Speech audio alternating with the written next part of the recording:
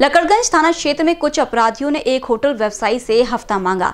पैसे नहीं देने पर धमका कर चले गए। उन्हें समझाने का प्रयास करने पर मारपीट की। कुछ समय बाद तलवारें लेकर आरोपियों की गैंग ने होटल में धावा बोला और जमकर तोड़फोड़ की है। फिरियादी द्वारा लकड़गंज थाने में शिकायत दर्ज की गई है। पुलिस ने जाँच कर दो आरोपियों को पुलिस ने हिरासत में लिया है।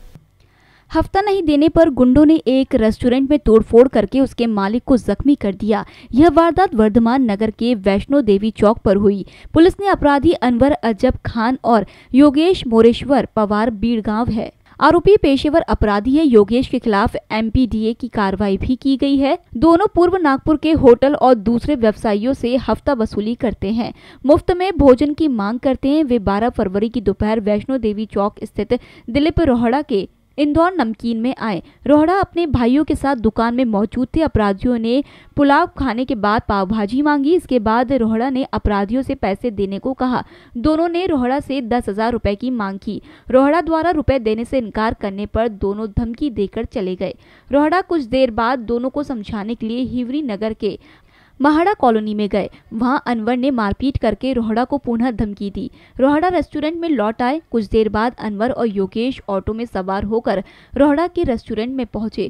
उन्होंने तलवार से रेस्टोरेंट में तोड़फोड़ की। दिनांक बारा दोन दोन हज़ार बावीस रोजी तक्रारदार नामे दिलीप रोहडा इंदोर नमकीनचं वैष्णवदेवी चौकात दुकान आहे। त्याच्या काही दोन तीन इसम आले त्यांनी सांगितले की आम्हाला हप्ता लागेल आणि नाहीतर तू इथं बिझनेस करू शकत नाही. त्यांनी मनाई केली असता ते परत गेले आणि तो रिपोर्ट पोलीस स्टेशनला रिपोर्ट देण्याकरता निघाला असता त्याच्या दुकानात जाऊन त्यांनी तलवार घेऊन तोडफोड केली. जशी पोलिसांना माहिती मिळाली तसेच घटनास्थळी आमचे डी बी पथक गेलं. तिथे एक आरोपी पूर्वीच पळून गेला होता. एक आरोपी आम्ही ताब्यात घेतला. लगेच त्याचा पाठलाग करून त्याच्या घरून त्याला दु दुसऱ्या आरोपीला सुद्धा आणलं. एका आरो त्यापैकी एका आरोपीचं नाव अनवर खान राहणार बिडगाव आणि दुसऱ्या आरोपीचं नाव योगेश पवार राहणार बिडगाव वाठोडा. असं आहे. दोन्ही आरोपींवर यापूर्वीचे गुन्हे नोंद आहेत.